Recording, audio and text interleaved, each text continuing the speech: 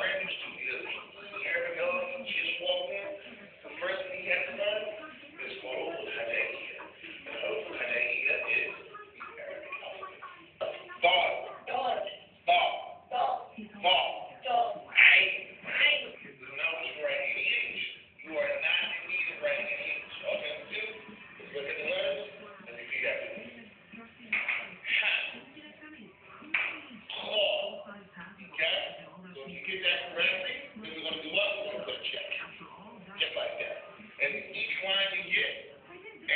slide you get correct, we'll move on to the next slide, to the next slide, until you learn the entire outfit, and then you'll know your alphabet.